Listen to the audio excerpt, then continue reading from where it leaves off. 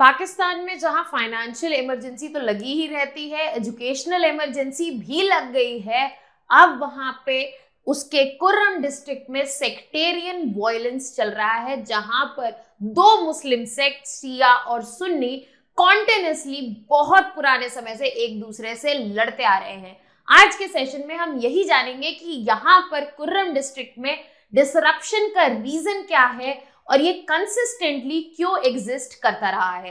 Hello students welcome to Chahal academy my name is Shubhangi Singh और आज हम बात करने वाले हैं about the sectarian violence that is taking place in Pakistan Kurram district यहाँ पर मैं साथ ही साथ आपको इंट्रोड्यूस कराना चाहूँगी UPSC IAS GS foundation recorded classes से, जो कि अवेलेबल है only at twenty four thousand nine hundred ninety nine rupees जिसमें आपको सिर्फ़ जीएस लेक्चर्स या एनसीआरटी लेक्चर्स नहीं मिलते हैं, उसके साथ ही साथ आपको मिलते हैं C SAT S lectures current affairs lectures answer writing practice test series as well as personalise mentorship तो आप अपनी तैयारी स्क्रैच से एंड तक इन डिटेल कर सकते हैं चहल अकेडमी के साथ। वो भी एक बहुत ही अफोर्डेबल प्राइस पे only of twenty four thousand nine hundred ninety nine इस कोर्स से रिलेटेड और जानकारी के लिए आप डिस्क्रिप्शन बॉक्स में दिए हुए गिवन लिंक पर क्लिक करके इसके बारे में और जानकारी प्राप्त कर सकते हैं। अब हम वापस चलते हैं अपनी टॉपिक की तरफ़, जहाँ पे हमने बात की कि यहाँ पर दो सेक्ट जो हैं, शिया एंड सुन्नी सेक्ट दोनों ही इन्वॉल्व हैं इस सेक्टेरियन वायलेंस में जो पाकिस्तान के कुर्रम डिस्ट्रिक्ट में हो रहा है। और यहाँ पर ये जो सेक्टेरियन वायलेंस चल रहा है, ये आज का डेवलपमेंट नहीं है।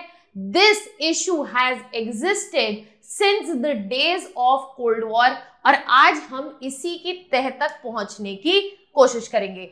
अभी जो वायलेंस स्टार्ट हुआ है कुर्रम डिस्ट्रिक्ट में, वहाँ पर ये जो मिलिटेंट्स हैं, उन्होंने 45 शिया ट्रैवलर्स को मसाकर कर दिया है और ये जो क्लैशेस हैं शिया और सुन्नी ट्राइब्स की। यहाँ पर क्लेम किया है इन्होंने ऑलमोस्ट 64 लाइव्स वो भी सिर्फ़ पिछले तीन दिनों में। यहाँ पर जो वॉयलेंस है, ये लिंक्ड है ट्राइबल राइवलरीज में। यहाँ पर जो कुछ ट्राइब्स हैं, वो शिया हैं और कुछ ट्राइब्स हैं जो सुन्नी हैं। इनकी राइवलरीज की वजह से ये कॉन्टिन्यूस ऑन गोइंग वायलेंस और मेसेकर इस रीजन में देखा जाता है। सबसे पहले यहाँ पे इंपॉर्टेंट हो जाता है समझना कि सुन्नी इस्लाम और सिया इस्लाम कैसे अलग है। अब यहाँ पर जो सुन्नी इस्लाम है, वो यहाँ पर मानता है, ये ऐसी ब्रांच है इस्लाम की, जो कि लार्जेस्ट ब्रांच है इस्लाम की, वो ये मानते हैं यहाँ पर कि मुस्लिम कम्युनिटी जो है, उसको प्रोफेट मोहम्मद के सक्सेसर को मानना चाहिए, जो उनके बहुत ही करीबी कंपेनियन थे, अबू बकर को। तो ये यहाँ पर सुन्नी कम्युनिटी चाहती है चाहती है और स्टार्टिंग से चाहती थी कि यहाँ पर प्रोफेट मोहम्मद के जो सक्सेसर हो, वो उनके कंपेनियन अबू बकर हो और इनको ही इनको ही सक्सेसर माना जाता है सुन्नी कम्युनिटी में। जबकि शिया कम्युनिटी में ऐसा मानना है कि प्रोफेट मोहम्मद के सक्सेसर उनके कजिन और उनके दामाद जो अली थे अली इबिन अबी तलीब, उनको ये सक्सेसर बनाना जाना चाहिए। और यहाँ पर ये इनका मानना है कि जो इस्लाम की लीडरशिप है, वो प्रॉफिट मोहम्मद के खानदान में, उनके परिवार में ही रहनी चाहिए। इस वजह से अली इबिन अबी तलीब जो है, वो राइटफुल एयर है राइटफुल सक्सेसर हैं। और इसी बेसिस पे ये दोनों ही सेक्ट जो है, वो डिवाइडेड है। यहाँ पर इनकी प्रैक्टिसेस और बिलीव्स में भी फ़र्क देखने को मिलता है, जहाँ पर सुन्नी इस्लाम ये मानता है कि मुस्लिम कम्युनिटी जो है, वो ड्राइवर है of the teaching and law और यहाँ पर फोकस है फोर मेन स्कूल्स पर, जिसको हम हनीफी, मलिकी, शफी और हानबली भी कहते हैं। यहाँ पर शिया मुस्लिम डिफर करते हैं और वो एक बहुत स्ट्रॉन्ग एम्फोसिस रखते हैं कि जो लीडरशिप होनी चाहिए वो डिसेंडेंट्स ऑफ़ अली की होनी चाहिए और यहाँ पर उनको इमाम्स बोला जाता है और इनको माना जाता है कि ये डिवाइनली चोजन है इस काम के लिए और ये लीड करेंगे मुस्लिम कम्युनिटी को। सो so, ये दो मेजर सेक्ट्स हैं जो इस्लाम में एग्जिस्ट करते हैं। सुन्नी सेक्ट जो है वो ज़्यादा बड़ा ब्रांच और बड़ा सेक्ट है। However Shia Muslims are also equally prominent अब यहाँ पर अगर हम आए कुर्रम डिस्ट्रिक्ट जहाँ पे हम ये वॉयलेंस देख रहे हैं तो यहाँ पर जो कुर्रम डिस्ट्रिक्ट है, ये अफ़गानिस्तान के बॉर्डर पर है पाकिस्तान में, और दुरंद लाइन जो है, जो इंडिया और अफ़गानिस्तान के बॉर्डर को डिफाइन करती है, पाकिस्तान और अफ़गानिस्तान के बॉर्डर को डिफाइन करती है, उस पर ये बॉर्डर क्रॉसिंग्स जो है, इस पर्टिकुलर डिस्ट्रिक्ट की देखी जाती है। यहाँ पर कुर्रम की जो पॉपुलेशन है, वो सात लाख एटी फाइव थाउज़ेंड और मेनली पाश्तून है, जिसमें कई तरह की ट्राइब्स प्रेजेंट है इंक्लूडिंग जैमुस्त मंगल मुकबल मसूजोई परचमकनी तुरी एंड बंगश अब तुरी और बंगश जो है, इनमें यही दो ट्राइब्स हैं, यहाँ पर जो शिया हैं, बाकी सारी जो है, वो सुन्नी इस्लाम को फॉलो करती है। यहाँ पर शिया पॉपुलेशन जो है वो 45 परसेंट है कुर्रम की पॉपुलेशन की, जबकि पाकिस्तान में शिया पॉपुलेशन 10 से 15 परसेंट के एवरेज पर देखी जाती है। और यहाँ पर मैक्सिमम शियाज जो है कुर्रम डिस्ट्रिक्ट में, वो अपर कुर्रम में रहते हैं, जहाँ पर बेटर लिटरेसी और डेवलपमेंट भी देखा जाता है। अब अगर सुन्नी डोमिनेंस की बात करें तो इनका डोमिनेंस जो है, वो लोअर और सेंट्रल कुर्रम में है, और यहाँ पर comparatively as compared to Shias they are lesser they are lesser literate and development भी इस रीजन की जो है, वो कम है। अब आते हैं हिस्टोरिकल डिवीज़न पे कि यहाँ पर इस रीजन में, कुर्रम डिस्ट्रिक्ट में जो हिस्टोरिकल डिवीज़न है, वो किस बेसिस पे है? तो ये जो शिया तुर्री ट्राइब है, इन्होंने पूरा अपर और लोअर कुर्रम जो है मेजरली कंट्रोल किया था बट अब ये सिर्फ़ कॉन्सेंट्रेटेड रह गए हैं अपर कुर्रम में। और ये सजेस्ट किया जाता है एस्टिमेट्स बताते हैं कि 83 परसेंट पॉपुलेशन अपर कुर्रम की जो है, वो शिया है, जिसमें तुरी और बंगश ट्राइब दोनों इंक्लूडेड है।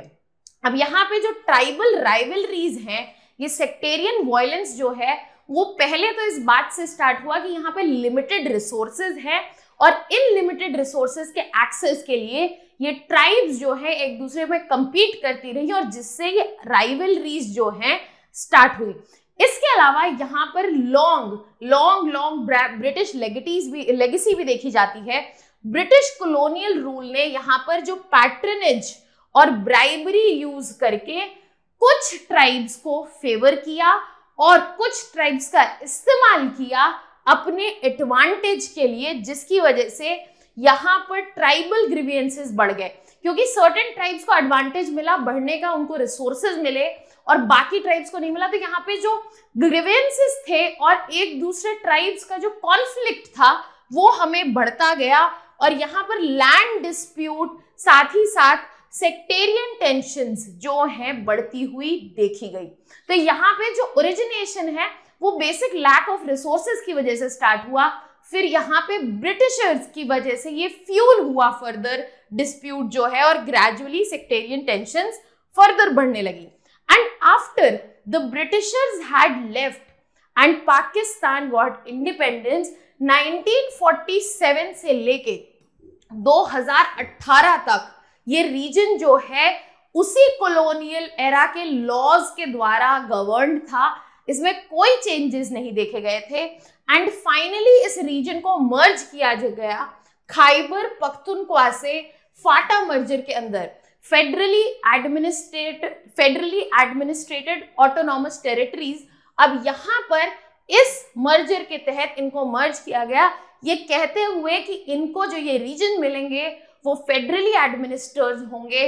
जैसे कि हमारे यहाँ यूनियन टेरिटरीज होती हैं या फिर शेड्यूल्ड ट्राइब्स के लिए स्पेशल एरियाज़ होते हैं, वैसा कुछ प्रोविज़न बनाया जाएगा और इनके प्रॉब्लम्स और इश्यूज़ जो हैं रिसोर्सेज के, वो रिजॉल्व होंगे।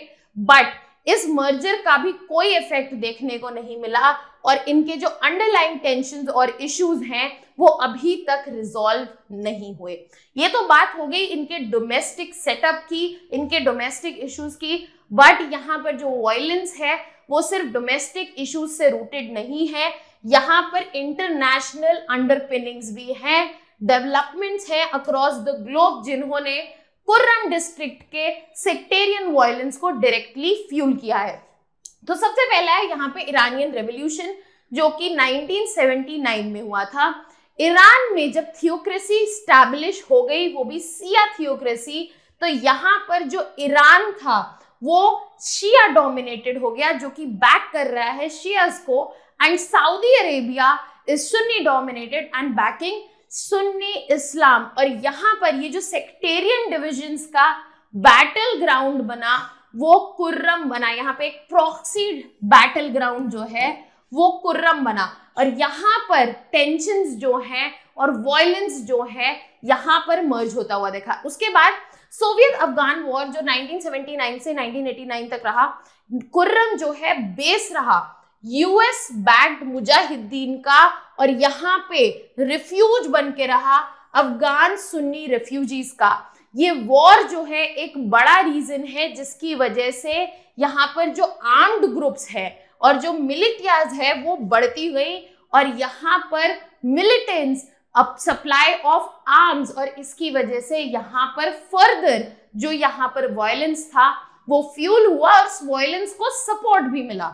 इसके बाद अगर हम बात करें जनरल जिया अल हुक की पॉलिसी जो कि 1977 से 1988 तक देखी गई तो ये जो मिलिट्री रिजीम थी जिया उल हक की, उस दौरान सुन्नी इस्लामाइजेशन वाली पॉलिसीज़ की वजह से यहाँ पर फोकस किस पे था?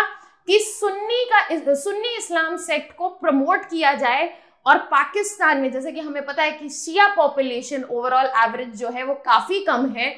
इसके अंतर्गत ये जो पाकिस्तान में सुन्नी इस्लामाइजेशन चला था, उसकी वजह से यहाँ पर फर्दर कुर्रम में इफ़ेक्ट देखने को मिला क्योंकि हमें पता है यहाँ पर डोमिनेंट पॉपुलेशन जो थी स्टार्टिंग से वो शियाज की थी। और फाइनली जब सुन्नी अफगान रिफ्यूजीज का एक्सेसिव इन्फ्लक्स देखा गया वहाँ पर Shia Turi and Bangash tribes की पोजीशन जो है वीक होने लगी।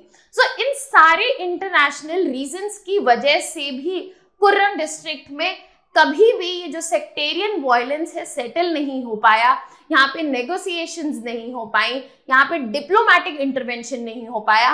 रैदर इन ट्राइब्स के बीच के कॉन्फ्लिक्ट को यूज़ किया गया as proxy battle ground to prove their own points अब यहाँ पर जब हमें समझ में आ गया है तो यहाँ पे देखते हैं कि अब ऐसा क्या चल रहा है कि 1970 से स्टार्ट हुई लड़ाई कॉन्फ्लिक्ट अभी भी खत्म नहीं हो रहा है। सो so, यहाँ पर रीसेंट एपिसोड जो है अगर हम बात करें सेक्टेरियन वायलेंस की तो वो रीजन रहा है अफगान तालिबान एंड टीटीपी का जिसकी वजह से यहाँ पर लोकल सेक्टेरियन टेंशन जो है जहाँ पर हम बात कर रहे हैं इन्फ्लक्स ऑफ़ अफगानी रिफ्यूजीज की उनकी वजह से यहाँ पर मिलिटेंट्स जो हैं अपने ग्रेवियंसेस एक्सप्लॉइट करवा रहे हैं और यहाँ पे गवर्नेंस और डेवलपमेंट इश्यूज़ जो हैं वो एड्रेस नहीं किए जा रहे हैं। और यहाँ पर इस वजह से ये फर्दर वॉयलेंस जो है कॉन्टिन्यूड है। इसके अलावा 2007 से लेके 11 तक यहाँ पे भयंकर मैसेकर चला है, जहाँ पर 2000 लोग including both of the sect Shia and Sunni को मारा गया और यहाँ पर 5000 से ज़्यादा लोग एड्रेस हुए। साथ ही साथ कई लोग डिस्प्लेस हो गए। उनको पाकिस्तानी गवर्नमेंट के डेटा के हिसाब से ऐसे कई लोग हैं जो डिस्प्लेस हो गए और उनके नंबर्स भी प्रेजेंट नहीं है तो यहाँ पर 2007-11 में भी ये ब्लडशेड देखा गया। एंड अब रीसेंट रीसेंट जो वॉयलेंस है, वो बेसिकली स्टार्ट हुआ है छोटे से लैंड डिस्प्यूट से। वो भी शिया तुर्री ट्राइब के बीच और मदगी कलय जो कि एक शून्य ट्राइब है, उनके बीच, जिसकी वजह से ऑलरेडी 50 डेथ फिर से हो चुकी है। अब ये जो सेक्टेरियल वायलेंस है, एक छोटे से छोटे डिस्प्यूट को एक सेक्टेरियल कॉन्फ्लिक्ट एक सेक्टेरियल मैसेकर बना देता है और it calls for intervention not just at the national level but also at the international level I hope इस टॉपिक से रिलेटेड आपके सारे डायमेंशन एड्रेस हुए हैं, आपको समझ में आए हैं। And now we have a practice question for you है discuss the historical and geopolitical factors that have contributed to the persistent sectarian violence in Kurram district of Pakistan. In your answer, analyze the role of external influences, tribal dynamics, governance challenges in exacerbating the conflict. Also evaluate the effectiveness of recent security measures in the min mitigating this violence. You can send your answers in the comment section. Our team will get back to you on this. And for more such videos and content related information, you can subscribe to our YouTube channel. That was all from my side. Thank you so much.